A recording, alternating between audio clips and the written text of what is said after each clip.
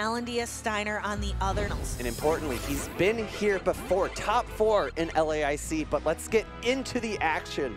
Game number one, Charjabug, Mirror, Volt Switch into Volt Switch, X Scissor into X Scissor, and Discharge, hopefully not into Discharge since it's resisted.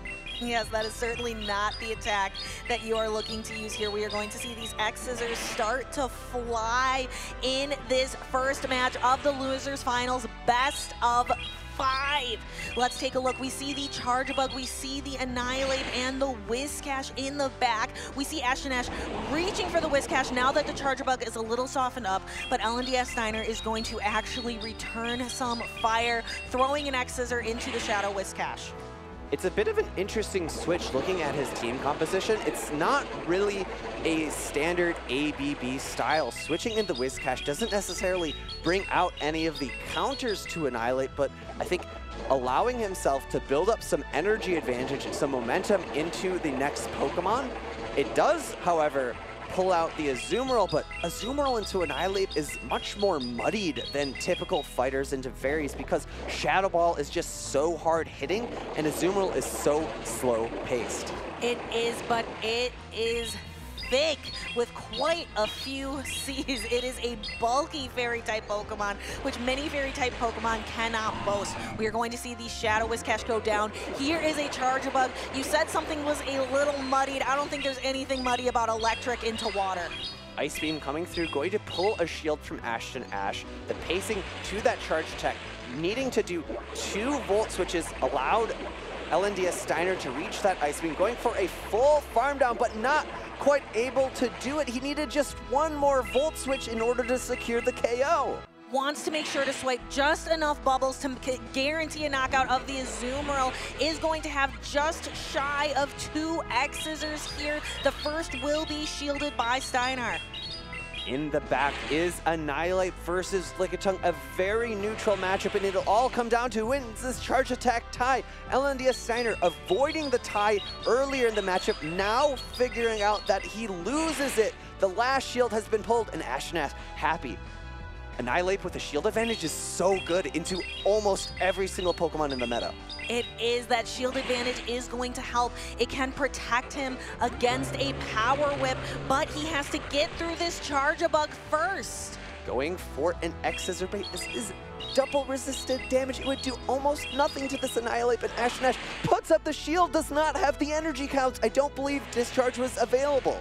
Oh no, maybe getting a little lost in the sauce, going for a Night Slash to knock out the charge bug. We're going to see the Lickitung come in next. Ashtonash, we oh. get the attack boost! This could change everything! Night Slash, the move of choice here, going to be double boosted by that previous Night Slash, going to do a lot of damage, as we've said many times. Landing that Night Slash boost allows the Annihilape to have such a comfortable matchup here. Yes, Annihilape needs to get to this Night Slash, gets to it and knocks out. Lickitung needed that Power Whip and just could not get there. Ashtonash taking game number one and another boost to close it. Looks so great and be able to turn it around. Here we are in game two. No time to think straight ahead going for the Charjabug into the Lickitung matchup and in the back. We've seen a change from LNDS Steinar, and I love it.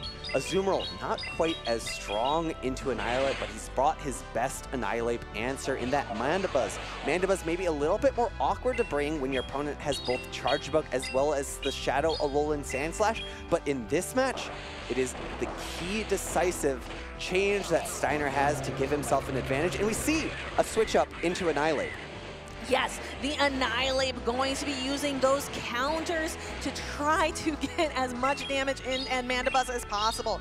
Ashtonash can't do any, not even neutral damage to this Mandibuzz. Shadow Ball is going to be your best bet as it is a same type attack bonus, heavy damage dealing move, but really going to be also relying on the fast attack pressure of counter and Aerial Ace connects as these Snarls are slowly starting to chip away as well. One more Aerial Ace will knock out the Annihilape. Ashtonash has to decide how am I going to defeat the Umbreon of the Sky? How am I going to defeat this giant giant, bulky, dark-type Pokemon, a Shadow Ball is going to come close to a knockout here. Let's see, will it do it? Really great counting there from Ashtonash, recognizing that back-to-back -back aerial ace was not loaded, and I do like utilizing a singular shield here. It would have been a bit tough to deal with that Mandibuzz when it had about 30% of its health. He does not have a Pokemon on his team that walls off Mandibuzz energy. However, we see an immediate switch by Steinar, not allowing a fast attack down from Ashtonash. That Mandibuzz is getting dangerously low on health. However, I don't think it's quite in a range where Mudshot is going to be able to knock it out. Maybe we'll have to see which Pokemon is going to be able to secure the knockout, or will that Mandibuzz fly high above the bug, fly high above the Whiscash here in New Orleans? Body Slam loaded for Steinar here. X's are coming through for the Charjabug. This would threaten a knockout. An undercharge actually does not pick up the knockout out because of that undercharge. Reaching for the power whip now, knocked out by the mud shot.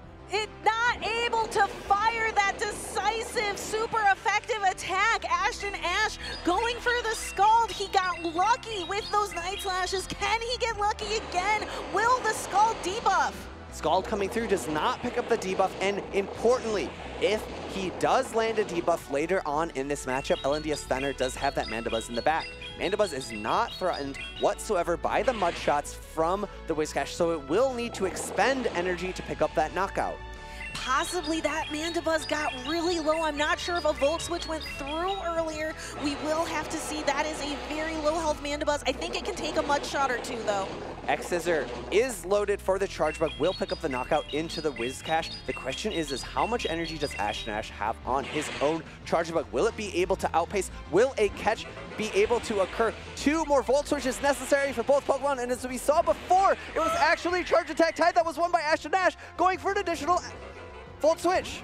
And Ash and Ash trusting the Charjabug, predicting the swap from Steinar, is able to knock out the opposing Charjabug and claim a second game. Let's see, can he do it? Let's take a look at lead. We see that Shadow Alolan Sandslash into a Charjabug. We see Ashtonash a shake of the head, doesn't want to be in this matchup, switches into the Whiscash, perhaps making a call about what Steinar has. Whiscash looks pretty safe, but that Lickitung with that super effective Power Whip is in the back. Switching into the Whiscash allows him to get the Mud Bomb off before a charge attack is ready by the Charjabug. Charge Bug launching its first X-Scissor Healer. Will Ashtonash be able to send in a second Mud Bomb, or will Steinar switch out? He does into the Azumarill, freeing up the Annihilape for the end game. But remember, Ashtonash is not running Shadow Claw on that Alolan Sandslash. It's, it's Powder Snow, which will have a little bit better matchup into that Lickitung if those two Pokemon do face yes, perhaps that was the plan from Ashtonash all along. Here is a Mud Bomb. Whiscash doesn't love this matchup. It is trying to throw Mud Bomb after Mud Bomb. It's no longer advantageous to throw Scald because you're not, that debuff chance is so low now. Ice Beam going to fire. Ashtonash has two Protect Shields, but says Whiscash, you've done your job. The Azumarill is out. I think my Annihilape is going to be key in the back, but now that this um, this Shadow Alolan Sandslash is running Powder Snow, it can't do that neutral Shadow Claw damage to the Azumarill. Azumarill's charge attacks do not threaten this Alolan Sandslash. Play Rough going to be resisted by that Steel typing, and Ice Beam double resisted by the Ice and Steel typing.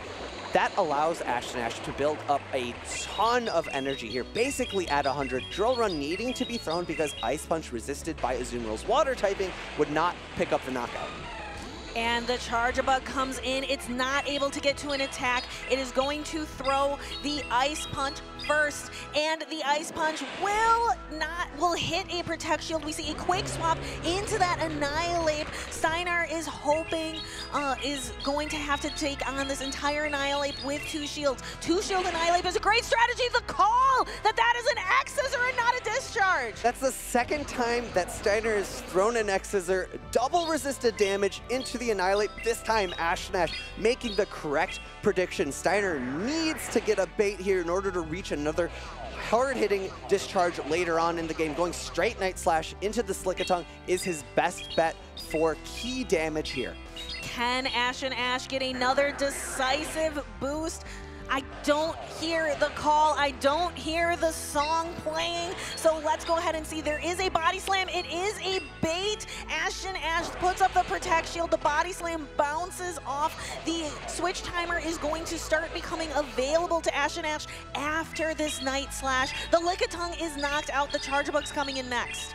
Charjabug is going to need to hope that those Volt Switches can pick up a quick knockout because if this Annihilape breaches to a Night Slash, it's going to be very tough. Actually switching into the Alolan Sand Slash, throwing a charge attack. Shield comes up from Ashtonash does have an Ice Punch loaded, but will he just go for fast attack pressure? We'll have to see. The Charjabug has an attack too, but we see the Volt Switch go through. Both Pokemon go down, but Ashtonash has a Pokemon in the claims victory 3-0 over Steinar. After